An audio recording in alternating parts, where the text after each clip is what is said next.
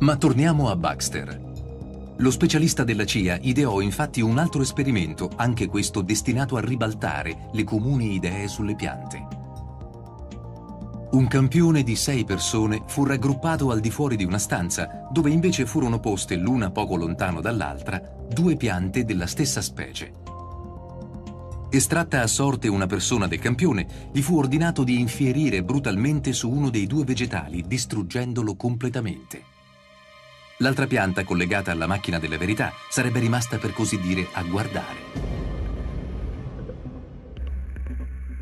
Compiuto il delitto, le persone coinvolte nel test furono introdotte una dopo l'altra nella stanza. Tra esse si celava l'assassino.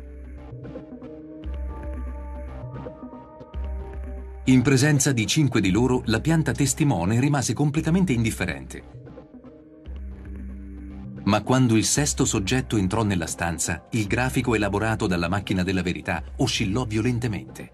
Si trattava proprio dell'assassino. Come aveva potuto la pianta riconoscerlo? Quando passò ovviamente l'individuo assassino, la pianta testimone riuscì a indicare in maniera chiara e netta chi era l'assassino della pianta. Quindi è stato dimostrato che la pianta, siccome aveva visto la, la sua collega morire, aveva immagazzinato questo terrore. Le piante infatti avvertono i pericoli,